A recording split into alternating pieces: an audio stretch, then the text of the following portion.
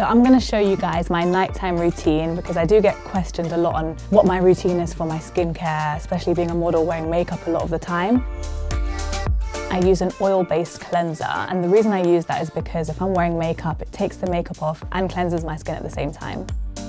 I like to use a silicone face brush because it gently exfoliates my skin and it does most of the work for me to be honest. Retinol is a magic ingredient. I think everyone needs it in their life. It's amazing for future-proofing your skin and it's always better to start early. I like to use these capsules from Elizabeth Arden. It's their retinol ceramide capsules, line erasing night serum. Yes, it is a mouthful.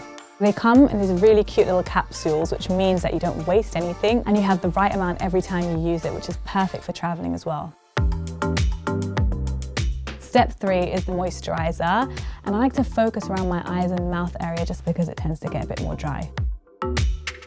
I know we've heard it all before, but drinking water really has an impact on your skin, so just keep a bottle by your bed.